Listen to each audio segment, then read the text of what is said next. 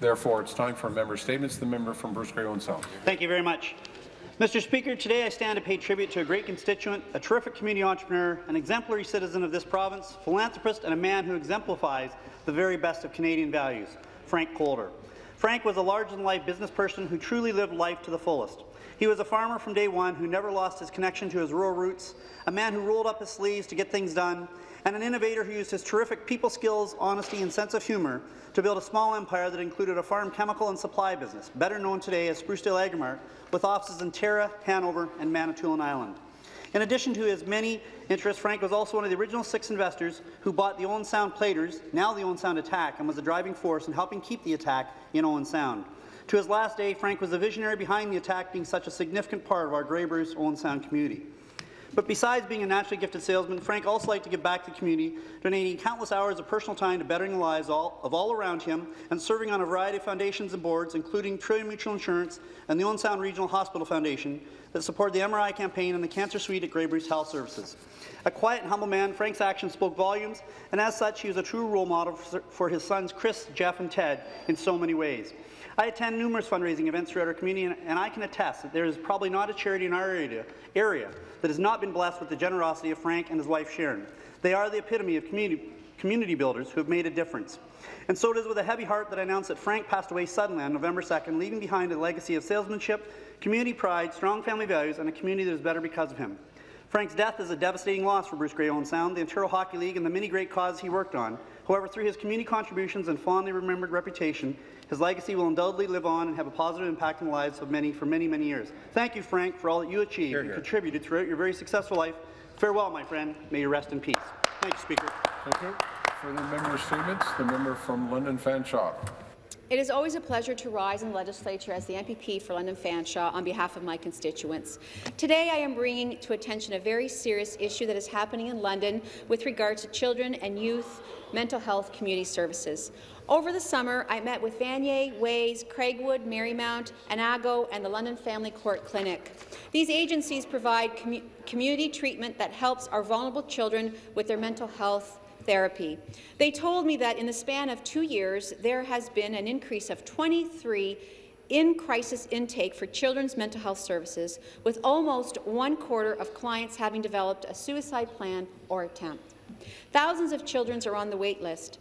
What happens when youth cannot access the mental health services they need? They end up in crisis. They find themselves in emergency rooms or entangled with law enforcement. Something has to be done about the chaos that has been created in London's children's and youth mental health services. At your request, Minister Matthews, 11 core agencies for children mental health in our area composed a document outlining a reasonable funding increase what a reasonable funding increase would entail if it were to happen. The agencies are still waiting to hear back from this Liberal government if additional funding has been approved. Due to years of, underfund of underfunding, agencies are speaking up and struggling to stay afloat. Now it's your turn to act. I am calling on the minister to take action. Will the minister commit to increasing funding in the Liberal budget? It's time to improve the funding for agencies in Ontario that provide direct support for our children and youth with mental health needs. Thank, Thank you. you, Speaker. Further member statements. The member from Eglinton Lawrence. Uh, thank you, Mr. Speaker. Today I'd like to uh, speak about a, a, wonderful local champion who passed away uh, on Sunday, Salvatore D'Amico. Uh, Sammy, as he was known, uh, lived till he was 38 years of old of age. Uh, he had his loving brother Frank and his sisters Maria and Lena, Laura, I should say.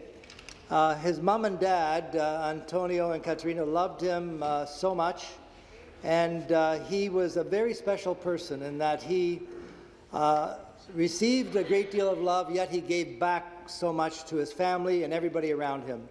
He was always uh, a positive force in the community. He participated continually, but always with a smile on his face and always sharing his love with others. And I think uh, Sammy and his family are a shining example of how when we have someone that's a member of our family that needs sometimes a little bit of extra help, when we help them, we are the ones that receive the love and the favor back. So Sammy was that kind of special person.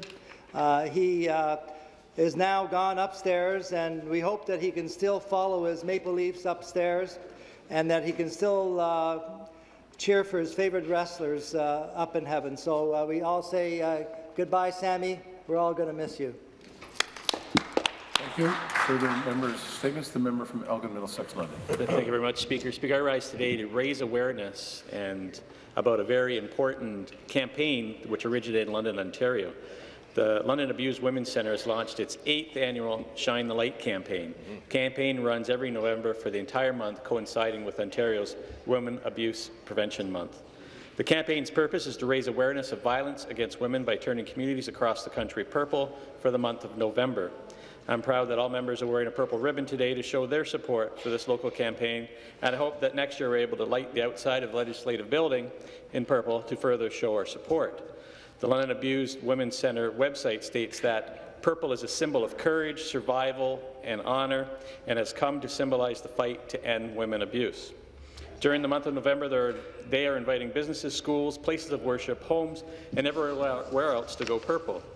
The campaign started to expand in its second year across Ontario and then into Canada. This year, the campaign has grown internationally and has been adopted in Sweden and Australia. November 15th every year has been designated as Wear Purple All Day. It is my hope that one day soon this campaign will no longer be needed as we as a province, nation and world end the violence against women. I want to give a special thank to Megan Walker, the Executive Director of London Abused Women's Centre, and her team for the outstanding work they do day in and day out to keep our women in our community safe and the awareness that they continue to raise to stop violence against women. Thank you, Speaker.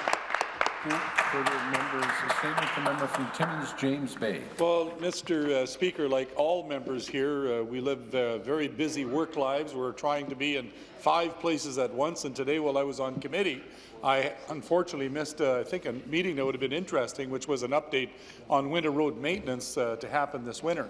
And I just want to say to my friends on the government side, I may have not made that briefing because of committee uh, engagements, uh, but I've got to say, uh, let's hope that we get it right. There used to be a time not that long ago that when you took the road in northern Ontario, or southern Ontario for that fact, and you wanted to go from point A to point B, uh, with reasonable weather, you knew you got reasonable roads and they were in pretty good shape. We had this wonderful system, a hybrid, where we had public operators under MTO that operated snowplows, salt trucks, sand trucks, and others, and we would augment that with private contractors, and the MTO themselves were responsible for monitoring and making sure that equipment was dispatched. Unfortunately, the Liberals who are forward to privatization privatized the entire system, and we now have a system that's entirely run by the private sector uh, that has led to a lot of problems uh, when it comes to the condition of our highways. So let's hope that the government has learned as a result of some of these contracts. I know that they've made some changes. There's been some improvement, but we still have a long ways to go, and I just want to put the government on notice. Uh, all Northerners, and I think all Ontarians, will be keeping a close eye on the condition of our roads, and you can rest assured we'll be back to talk to the government should we see a repeat of previous years. Thank you. Further member statements, the member from Ajax Pickering. Good afternoon, Mr. Speaker. I'm pleased to stand in the House today to officially mark November as Hindu Heritage Month.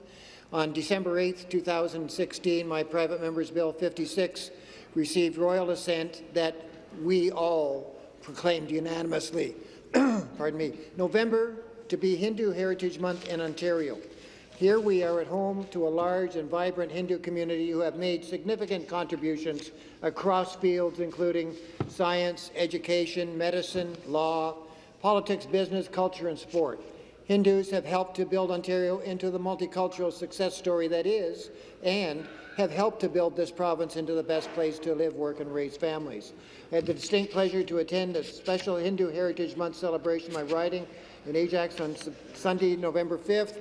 The event was organized by Sankat Mochan Hanuman Mandir and Cultural Centre in Ajax in partnership with the town of Ajax. And during that celebration, Ajax resident, community leader, and member of the Sankat, Cecil Ramnoth, honoured me with a very special personal tribute that included a signed frame staircase photo by, Pre by Premier Kathleen Wynne's signature in place with that commemorated on Bill 56.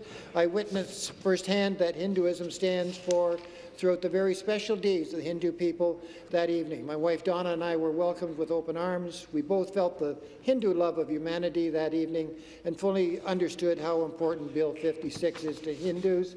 And I'm honored to stand here today to commemorate Hindus this month and every day. The contributions that Hindu Canadians have made in Ontario are special, and as Mahatma Gandhi said, the best way to find yourself is to lose yourself in the service of others. Thank you, Mr. Speaker.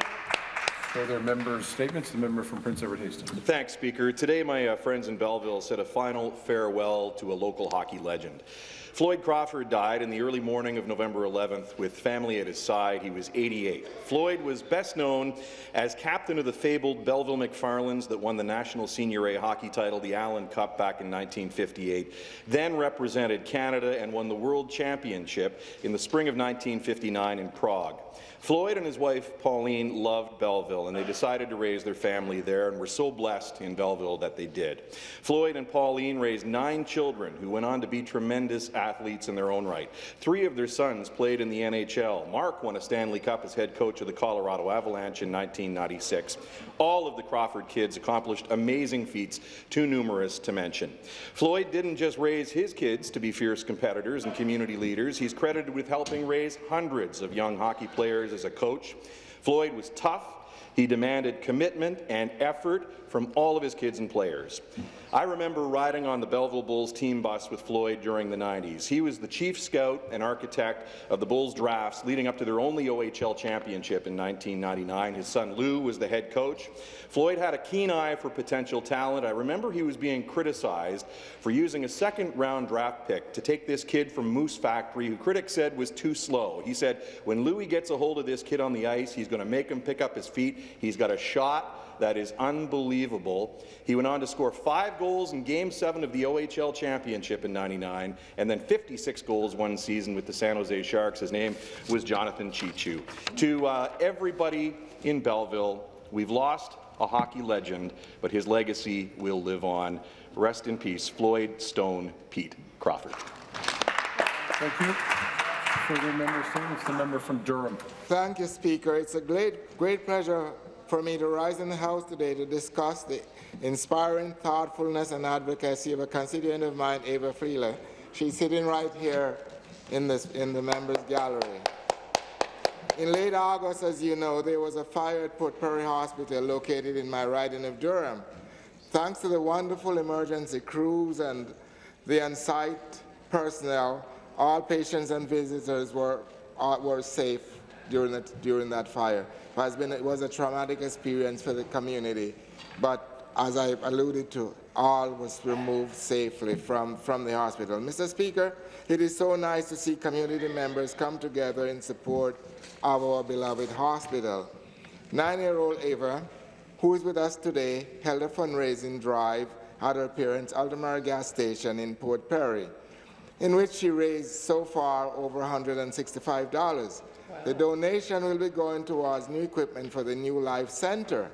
The outpouring of support from the community has overwhelmed our, our hospital executives and staff, as well as the community in general. Mr. Speaker, great things happen when everyone comes together. Thank you again, Ava, for your fundraising efforts and for creating awareness in our community. Thank you.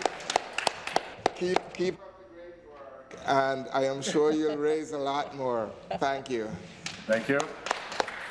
Further member statements, the member from Nipissing. Thank you, Speaker. Uh, last month, I introduced Bill, uh, my private member's Bill 169, the Ontario Forestry Revitalization Act, which would permit uh, wood frame construction up to 14 stories in height. This is to accommodate two innovative projects uh, here uh, in Toronto being planned by George Brown College and the University of Toronto. The Council of Papineau Cameron Township in my riding has passed a resolution in support of Bill 169. They note that, quote, by increasing the use of harvested wood in construction, it will help Northern Ontario by providing jobs and will help Southern Ontario meet targets to reduce urban sprawl and reduce construction costs. Uh, as stated repeatedly over the years, um, since introducing my private member's bill on this issue, it's a win-win proposition for Ontario.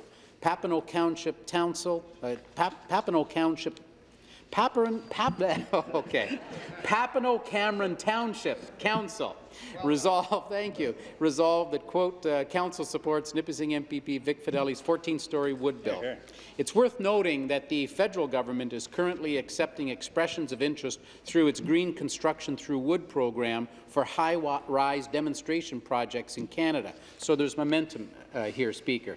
I was very pleased when the government adopted my six-story proposal in 2015 and look forward to further discussion on Bill 169. Thank you very much.